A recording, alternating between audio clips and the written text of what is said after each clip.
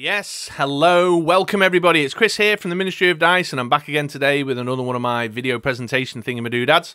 And in this video today, I'm going to talk about the idea when building teams in Dice Masters, do you pivot or do you optimize? Now, don't worry if you don't know what I mean by those terms, I'll go on to define those in a moment. But before I do, this video is dedicated to Stephen. Hi, Steve.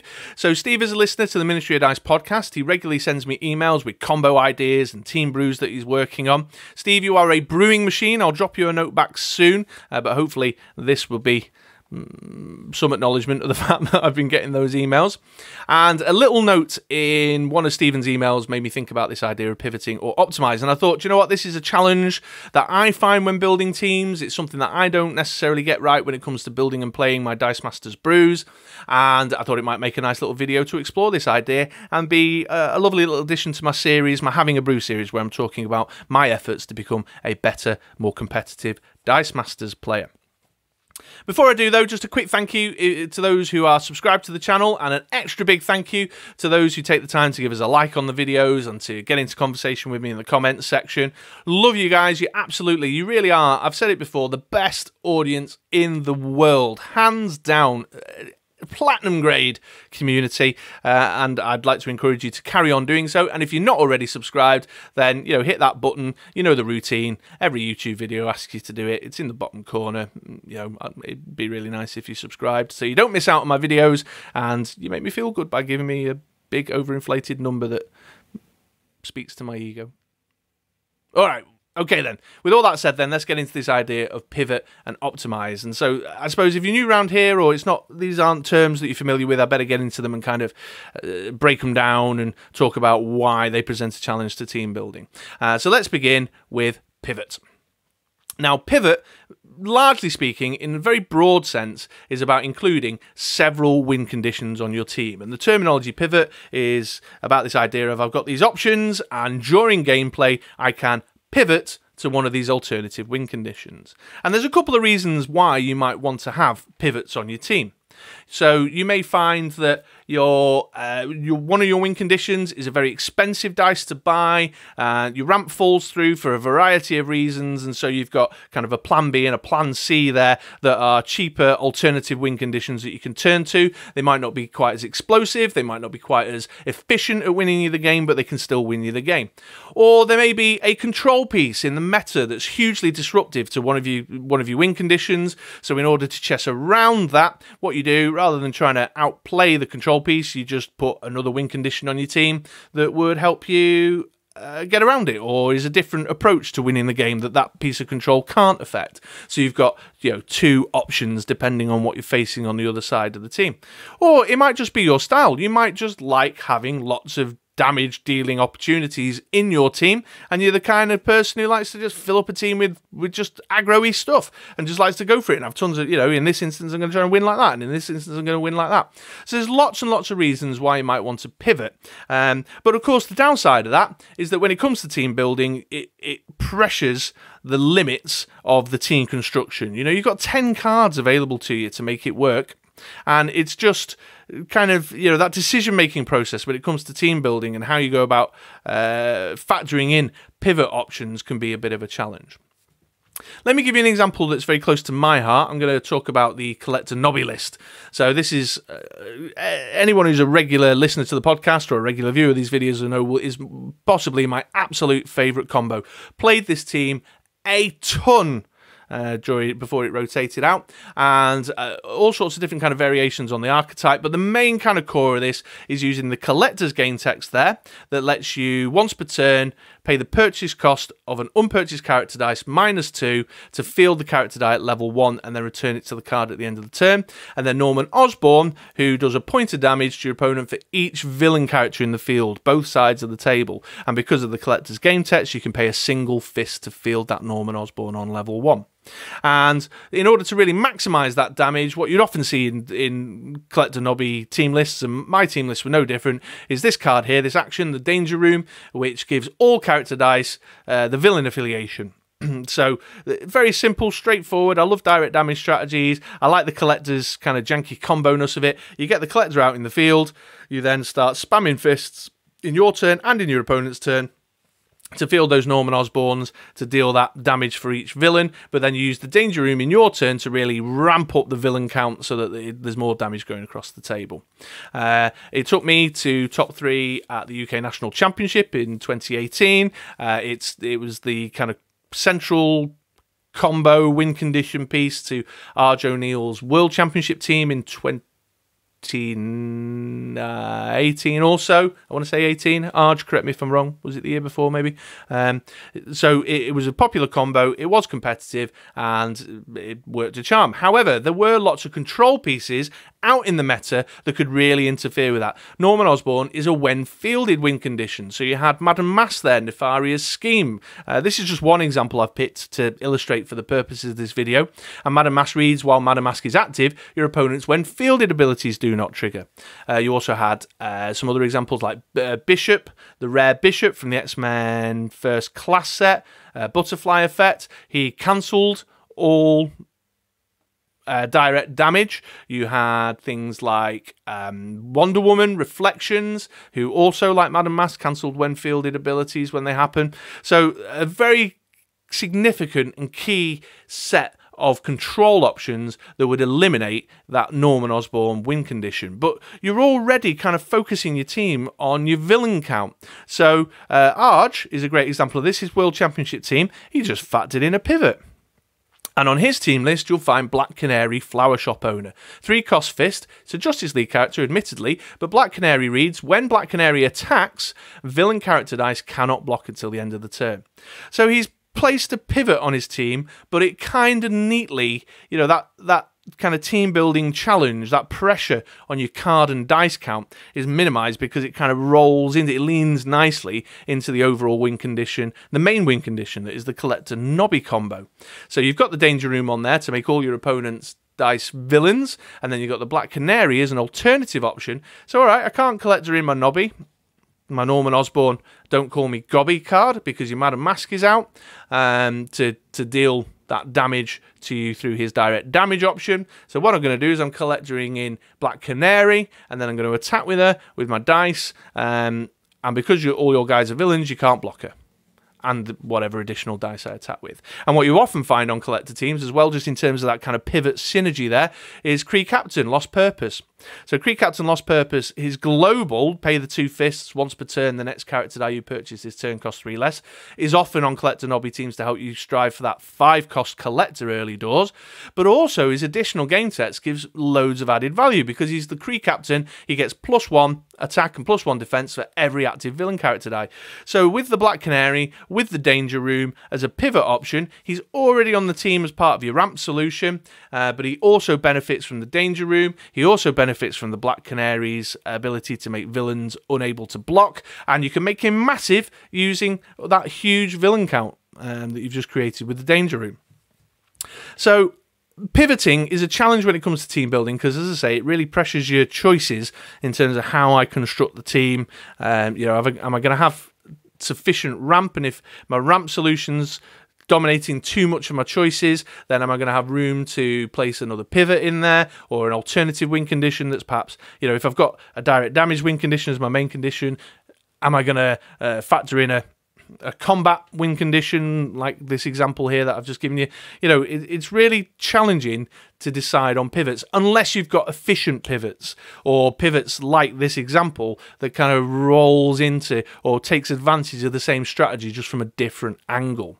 You know, or you've got, you know, Becky Lynch at the moment. Uh, she's a perfect example of a pivot. Put her on the team just for the global, but then she's a one card win condition in her own right that could you could turn to if if you're desperately in trouble with your main win condition.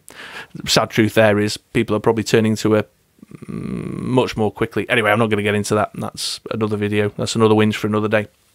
Um, so yeah, there's pivot defined. There's uh, some reasons why you might want to look at pivoting in your team building, and there's just an example of a well built pivot that we've seen at a championship level um, that really kind of synergizes well within the team, within the context that is that it's been built around. Um, but yeah, you've got to be careful with pivoting. You've got to be careful. I've certainly built teams with with two two win conditions, two pivots, and kind of found myself saying at the end of the game, I've tried to do too much or I kind of only committed half in on one and half in on the other, rather than you know playing the table properly and assessing the the situation right. You know, and that's if if your gameplay isn't mm, you know if you're not have the depth of thought mm, like me, if you can't process it in the moment necessarily, or you do find yourself going half in one and half in another and not really ever actually doing either very well, then pivots perhaps aren't the way to go for you. Uh, and on that note, I'll move over to optimize, which is probably where I generally find myself moving towards more often when it comes to team building. So optimize is the is the converse opposite of pivot. This is where you put a single win condition on your team and you just optimize the team with that singular focus of making that win condition work. So whereas in a pivot team, uh, control pieces in the meta that get in your way, or ramp challenges that that may um, take place and interrupt your ability to get your win condition together, you kind of just look at a plan B or a plan C.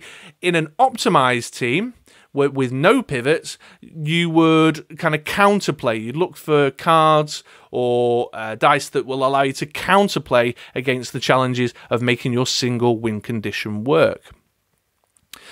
So, uh, I've already alluded to this. Why might you optimize? Well, uh, if you're like me and you find yourself doing this kind of half in, half out thing that I described before, then you might want to optimize your team and just go for a single uh, win condition, a single focus, because that's just e not easier. That's the wrong choice of words. More comprehensive in terms of your playstyle and the way that you want to play.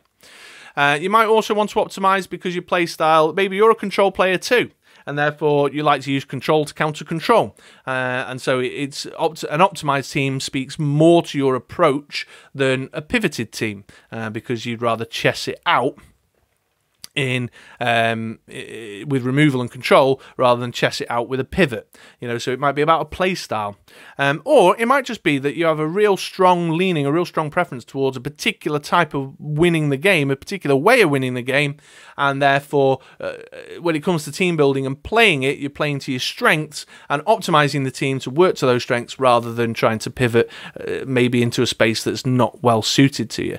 And just to kind of revisit pivot for a second there, I'm not a great attack step player.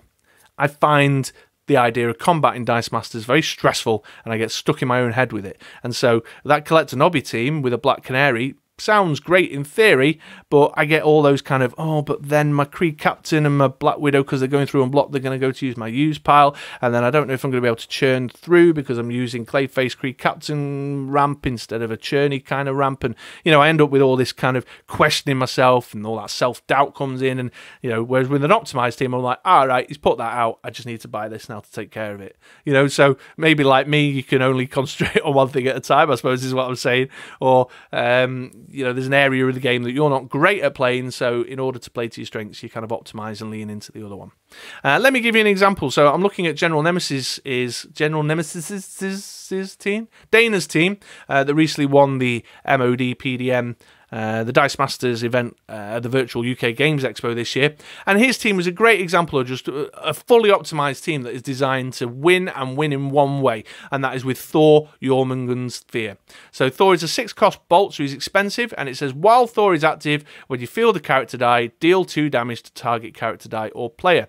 And then he's got a global there where you can pay a bolt, and once per turn, you can purchase an action die with a discount of two. Is it two or three? It's two, isn't it? It's a bit, a bit, my screen's a bit far away. I obviously need glasses.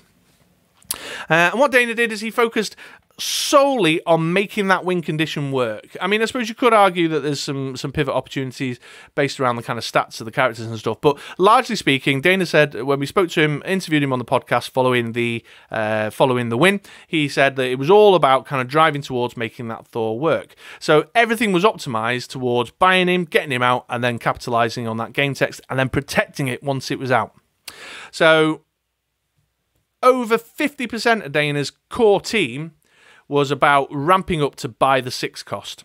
Fully up to just driven entirely into the ramp options that would allow him to get that six cost early doors and out in the field. So we had Clayface there for his global, where you can pay a mask and once per turn take a die from your use pile and add it to your reserve pool on any energy phase, just turning one energy into two. He had the Kree Captain there for his global that I mentioned earlier. There was the Intellect Devourer who's got the uh, global there that allows you once per turn to spin a sidekick to an energy phase, and then he's got the Collector with a global that lets him put a sidekick in the field. So it was all about kind of first turn, buying that Kree captain for the fists, then second to, uh, and then in your opponent's turn using the collector's global to put a sidekick out in the field. Then in turn two, turning that sidekick into energy with the intellect devourer global.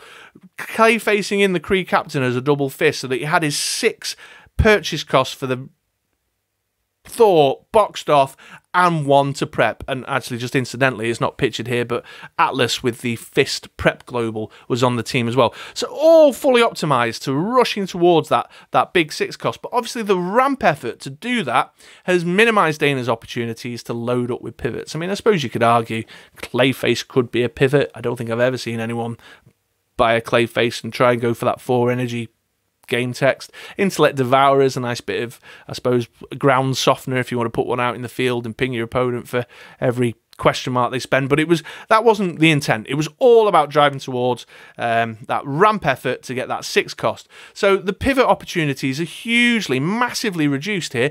Dana had no choice but to optimize at this point. So then it becomes about the control the rest of the team were filled up with cards to protect that win condition.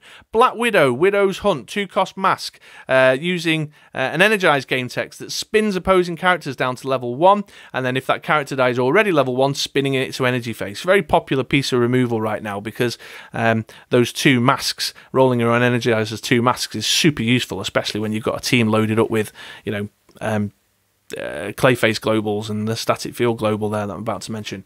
Drax, the new blob, three cost shield. When fielded, choose an opposing card, cancelling all previous choices. Your opponent may not purchase or field that character until Drax leaves the field zone. And look at his stats, his defense numbers four, five, six. So you get him out, he's not shifting, and you're cutting off access of your opponent to a card. Got the Static Field there for the pushback global. Pay a mask, remove target attacking character die from combat. And then confront the mighty, a, a beautiful cheap piece of removal there. Target character die you control has attack equal to the defense of target opposing character die. Those two characters' die deal damage to each other equal to their attack. So just using sidekicks to slaughter things on the other side of the table with big defense numbers that you don't like the look of. Although now, upon reflection, that Confront the Mighty is actually the answer to removing the Drax, isn't it? I'll have to ask Dana how he mitigated that problem. Anyway, uh, uh get, getting back to my examples, uh, the team is optimized. Dana wants to win with the Thor. Jormungand's Fear. He wants to do that direct damage to his opponent by fielding characters. And so he's put a huge optimized effort into the ramp journey to get to that six cost and then to the control effort to protect that six cost. And I suppose you could say, you know, you've, we confront the mighty in Black Widow, you could clear a field down and, you know, Thor's no slouch in his stats, so there's an opportunity to attack, etc., etc. But that's a lot of hard work. It was all about protecting that Thor so that he could deliver that damage and use the control pieces that he's got on his card to maneuver around the challenges that he was going to face, whether it be opponent attacking him, whether it be removing dice that are going to be pests, etc., etc. Um, so yeah, there you go. There, there's the two kind of defined with a couple of examples and a few kind of pointers as to why it might be best for you or not. So have I come to an answer on that question whether you should pivot or optimize? Well, honestly, no, I haven't. I'm much more of an optimized guy. The teams I build are much more singly focused towards one win condition, and then I load the team up. I'm a control player. I load the team up with loads of control and removal to help protect that win condition and interfere with my opponent's ability to win the game. But I've seen many, many pivot teams do well in competitive tournaments, or even casually, to be fair, and uh, it's certainly an option. So uh, the question you have to ask yourself is what is my playstyle? What's going to allow me to play to my strengths most? Am I able to pivot effectively? Can I reconfigure my thought processes to go to a different approach? Can I chess it through? Or is the team I'm building, has it got neat pivots, you know, tidy pivots that synergize well and make dual use of some stuff that I'm putting on my team already, as I described with the Collector Nobby and Black Canary example uh, using the danger room before. Uh, or are you more like me? You know, your, your concentration is more on one, better focused in one direction, that you don't pivot so well because you find you dip a toe in two and then don't really swim in either waters. Um, so, uh, are you better at chessing around using removal and control? And so, will it play to your strengths to find a solid win condition that you then can mm, you know lean into? Uh, now, I've I've experienced wins with optimized teams before. I've experienced losses with optimized teams before. But I'm certain, and let us know in the comments below, there are people out there who like to put pivots who equally have experienced wins and losses using pivot teams. So I think there is no easy answer, but hopefully I've pointed out a few kind of key thoughts or key ideas that will help you in your decision making when it comes to team building and playing the game around whether you're a kind of pivot player, whether you're an optimized player, or whether whether you can't be categorized as either and you're able to build teams, you know, drawing upon one or the other as is best fit for the moment. Yeah, there you go.